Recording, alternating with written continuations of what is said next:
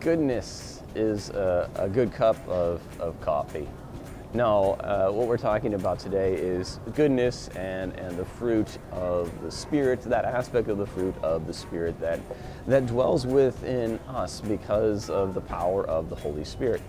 Now, over the last few days, I've been able to, to hear some stories of goodness, um, of, of people actually just living out what it means to, to live a good life because goodness does the right thing and it challenges others to do the same. Um, goodness is decent and honest and, and moral.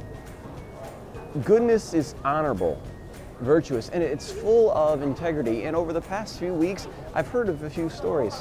One that took place in a grocery store similar to, to this, where um, a, a couple people from our, our church here at Lutheran Memorial they were doing their shopping and this young lady, um, she found $300 just sitting on the ground. And she called her dad and her dad came over and, and they knew what they had to do. They, they picked it up and they went to the um, customer service desk and just said, I don't know, has anybody come and said they've lost some money? Um, and they were gonna give it back and she was going to go talk to her manager and see what they could do to figure out how to get this to this person. And just at that time, a gentleman came back in and went to the customer service desk.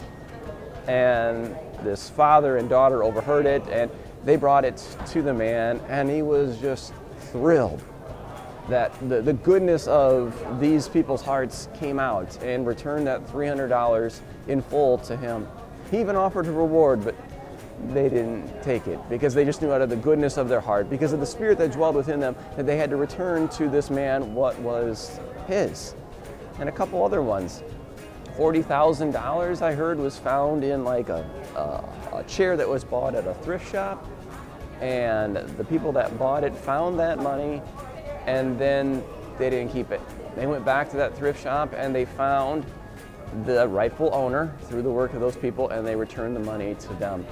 And then another one, uh, someone I, I know, um, uh, one of their good friends passed away, and, and some people went in to clean out the, uh, the apartment where he was living, and, and he had um, a, a sizable amount of cash um, tucked away um, in there. And, and these people that were cleaning it out found it, and they didn't keep it.